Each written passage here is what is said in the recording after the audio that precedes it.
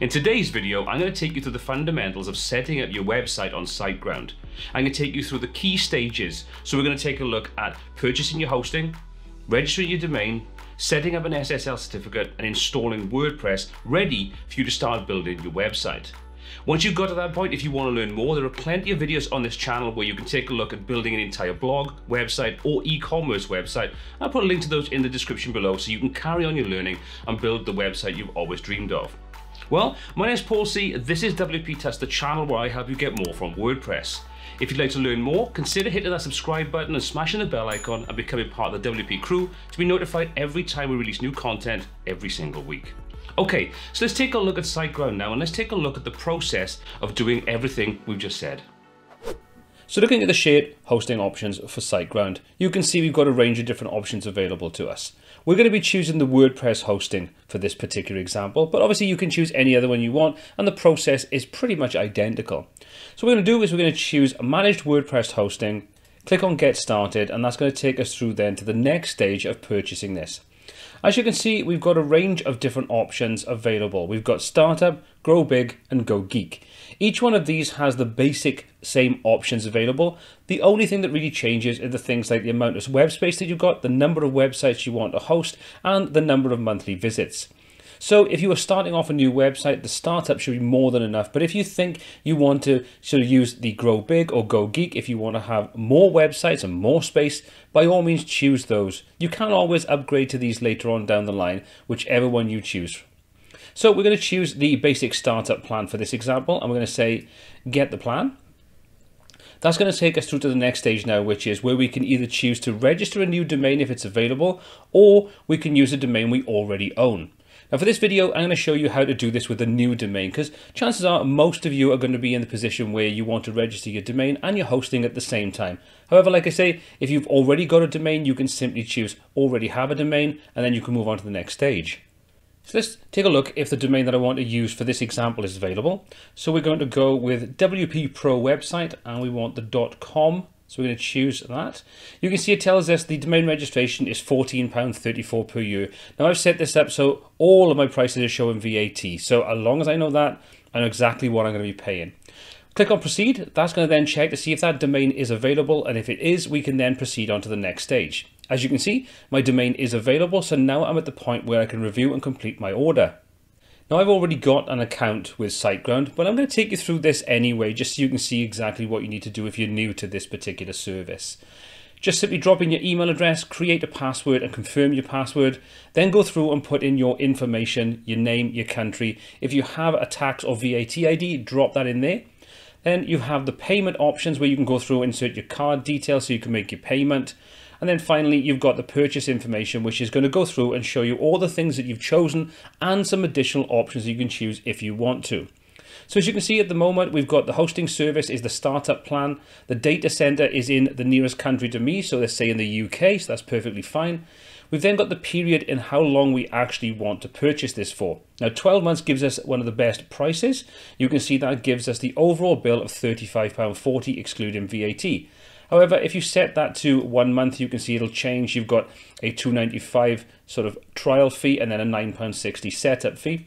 And if you go up to 36 months, you can see that'll give us the price of £106. So we're going to go for 12 months. We're going to leave it at that. Then you have the option for extra services. So you've got domain registration, which we chose because we want to have our own custom domain in there. That tells us how much that is. And if we want to add in anything like domain privacy or SG site scanner. Now the domain privacy, if you're dealing with the .com, this just stops anybody seeing the information that you put in there when you actually register this domain and should then help stop you having annoying spam calls when your domain information gets out there. You can choose that if you want to, and that is £9 per year in this example, plus VAT. And then you've got the SiteGround Site Scanner, which will just is a monitoring service that just checks your website daily and notifies you if there's any problems being hacked or injected with malicious code and so on. If you want peace of mind, select that, tells you the price, and you can move forward. And then finally at the bottom, it gives you all the information about your order, your total, what you have, and then you go through and say you can confirm that and you'd like to receive SiteGround special offers if you want to have that as well. Now, SiteGround regularly run special discount offers So I'd recommend taking a look at the description below and every time that's updated, I'll try to keep that up to date with any special offers that are available and applicable so you can save yourself even a small amount of money. It's always a saving. So don't forget to check out the description just to see if there's any offers currently available for you. Now I'm going to go ahead, insert my details and create my new order and then finish paying. And then we'll move on to the next stage where we can start taking a look at what's on offer inside the SiteGround dashboard. And there we go, my order was successfully submitted. And as you can see now, we can jump over and proceed to the customer area, which point we can then take a look at all the services, take a look at the domain, and we can start activating things like WordPress, SSL certificates, and all those kinds of good things. So let's just proceed to the customer area. That's going to ask us to log in. And there we go. We're now into our SiteGround dashboard. Now, if you purchase a SiteGround sort of hosting plan little while back, you probably would see a different interface. This this is their latest version. Older accounts are going to be migrated over to this newer version, so you may see a little difference if you've got an older account, but just bear with it because it will update. And pretty much all the things we're going to do are pretty much exactly the same. So don't worry too much about that. Now before we start working on building our website, let's take a quick tour of the SiteGround interface. If we come up to the top, you can see home is where we currently are. And if you're new to this interface, I'd recommend taking a look at the tour of the SiteGround account. It'll take you through in this little video, introduce you to all the different facilities and tools that are available. If we go to the website section, and open that up, you can see we've got websites. You can see this is the domain that we purchased. If we click on the link to the right hand side, we can go and take a look at that tells us what plan we're using, and again, we can click to find out more information. If you want to add additional sites, we can do that. And depending upon the plan that you have, you may have the ability to go through and add new sites to that same plan, or you may need to purchase another plan to add another site in.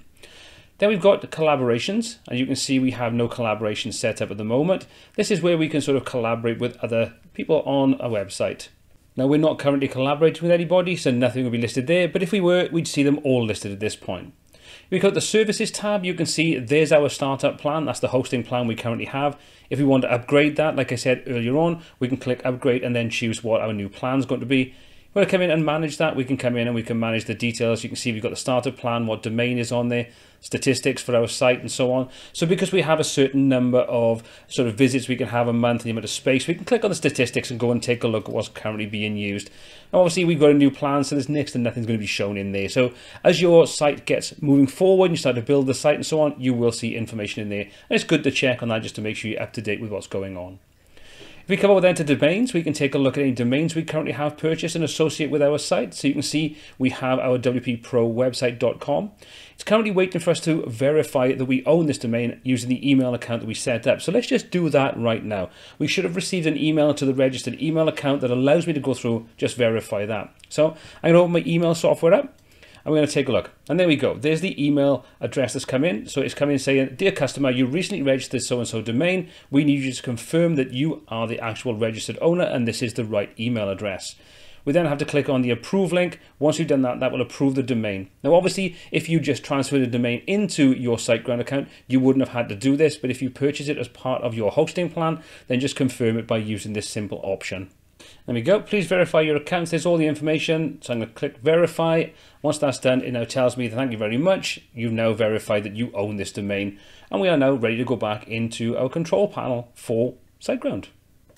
Now, even though we've verified our domain following the link in that email, we come back to the domain section under the services inside SiteGround. If we refresh this, we'll find that the verification required will still probably be there. And the reason being is because it can take you 24 to 48 hours for this to be updated with the relevant sort of account. So don't worry too much about that. Come back in a day or two and you should find that's gone as long as you confirmed everything. If not, obviously then you want to resend the email and follow that again if you need to. Okay, so there's the basics. We've gone through, we've seen the account, we've got, we've seen the domain, we've confirmed it's our domain and so on. If you get any other emails coming through to you from SiteGround, read them carefully, make sure there's anything you need to do, you follow through with it to make sure that everything is completed and up to date. Obviously, if you are unsure of anything, then reach out to SiteGround and just ask them for any help you may need. So there's all the stuff we needed to do to get SiteGround set up. We purchased our hosting, our domain, confirmed it, all those kinds of things. Now let's get on to the fun part. Let's start by setting up our site. So we're going to click on Set Up Site from the Home section in the SiteGround dashboard. To click on there, that's going to go through then and allow us to do a few different things. We can choose to start a new website, or if we've already got a website, we can migrate our site. Now, obviously, if we didn't want to do either of those, we could just log into our control panel and start and do whatever we kind of wanted to do. But this video is all about WordPress and we're going to create a new website. If we want to skip it though, you could say skip and create an empty site. However, we're going to say start a new website. So we're going to click on select. That's going to open up all the options we now have for creating and starting up a site. So we've got WordPress, WordPress and WooCommerce, Weebly Site Builder, and other ones. We're only interested in WordPress at this point, but if you were wanted to install WordPress and WooCommerce at the same time, you can choose that option. However, we're going to click on select for WordPress. Then we're going to go through and say, what's the installation details? What's the email address you want to associate with this account? And what's the password you want to use? I'm going to fill those details in a moment and then we'll move on. So we'll simply drop in the email address and we'll generate a new password. That'll set it up as nice and strong. So what you can do is if you want to, you can click on the little eye icon, then you can copy that Obviously, make sure you put this information somewhere safe so you can log in once you set everything up. Now we've done that, let's click on continue. That will then go through the process and allow us to go and choose some other options. Do we want to add in the site scanner, which if you remember back to the beginning when we purchased our hosting account and everything, we had the option for site scanner there and also for the domain privacy. So you can see again, if you didn't do it at that point, but you think I'd like to do it now, you can add that in at this point. I'm going to leave those out. Like I say, this is just a demonstration, but if you think that they're worthwhile to you, add those to your website for peace of mind. Click on finish and that's going to go through the process now of creating our site. Now depending upon how busy the SiteGround server is, this could take up to two minutes to complete the website creation. So we're going to let this go through the process and we'll come back and then we'll move on to the next stage. So now that's complete, we can simply choose Access WordPress Admin. We'll come back and take a look at the Go to Site tools a little later. Let's just jump over to the dashboard of WordPress. So now we've logged into the dashboard, we can, if we want to, start this wizard, or we can exit this and go straight into WordPress itself. We're going to ignore this, we're going to click on exit and take us into the dashboard itself for our WordPress website. So you can see there's a couple of things we need to do. We've got a range of different things on here that is to do with the way that SiteGround actually set this up and the little wizard that's installed. So you don't need to keep this in here. If you want to, you can remove those completely. You can see we've got WordPress Starter is available. So if we want to use that, we can click on Start Now and that'll then take us back to that sort of wizard where we can go through this. If we close that by accident, we can go back in and start working through it. However, let's exit back out of that again. Let's just take a look at what we have. Now, this is a slightly different dashboard because this is configured to work inside SiteGround itself. So this is slightly different to what you'd expect to see in a normal WordPress install. However, we come over to the plugin section and go into install plugins, we can see what's been added in there. As you can see, we've got the SG Optimizer, which is the SiteGround Optimizer, and the WordPress Starter. If you don't want those, you can simply select those and just deactivate them and then delete them from there. What that'll do is it'll take us back into a very vanilla version of WordPress. So let's just delete those and click on OK. That'll get rid of those. And if we now go back to the dashboard, we should now see that we're back into the normal WordPress dashboard that you'd expect to see when you install WordPress as normal. Now choosing the site tools will give us a whole different range of options inside the SiteGround interface itself. You can see we've got some basic options available and this kind of replaces what they used to have which was the cPanel which is the control panel you kind of get with a lot of hosting companies. So this is a lot more user friendly, a lot more focused on making it simple and straightforward. However, pretty much all the tools are still in there should you need them. First thing you can do, you can come in and you can change for any domains. If you've got multiple domains, you can go in there. You've also got an option then there for things like WordPress and so on. So we take a quick look over there, you can see we've got some basic information, some statistics and so on. Like I say, new site, no information, but as your site starts to populate with information and visitors arrive, you'll start to be able to track all this information yourself. You can set up an email account if you want to. You've got a uh, sort of file manager, the app manager, where you can go in and install WordPress again, or any of those other options we had earlier on, like WordPress and WooCommerce, or any of those kinds of things. So you could get rid of any WordPress copy and then just add a new fresh copy in directly using this. If we come over to security, and at the security settings, we've got SSL Manager. And this is where we can make sure that we've got an SSL certificate.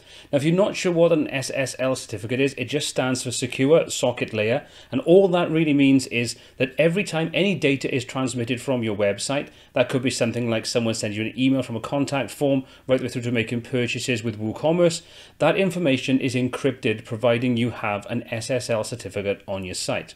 One of the nice things about SiteGround is that you automatically get an SSL certificate as part of the actual plan itself. And as you can see, we've got the Manage SSL section at the bottom. It tells us this is the domain, this is the certificate we've got. it's active and it expires on. We've also got options then if we click and you can see we've got view certificate, we can delete it, we can renew it, or we can enforce HTTPS. So what we're going to do is we're going to come to enforce HTTPS and you can see in there we can choose to enforce it and external link rewrite. So if we enforce that, you can see that's now enforcing it for our domain. If we want external link rewrites, we can also do that as well. So you click on there and activate both of those options should you want to. They've now been activated. So if we come back over to our site and refresh, we'll now see that we get the little padlock telling us that the site is now secure and therefore we're using HTTPS.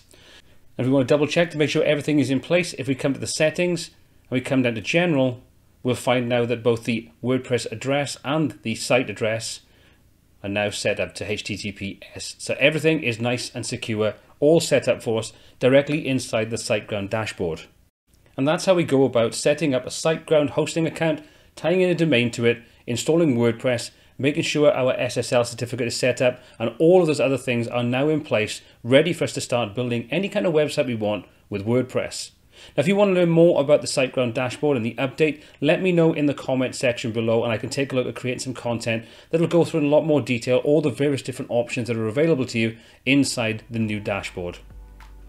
So there we go, that's how we go through the process of setting up everything inside SiteGround.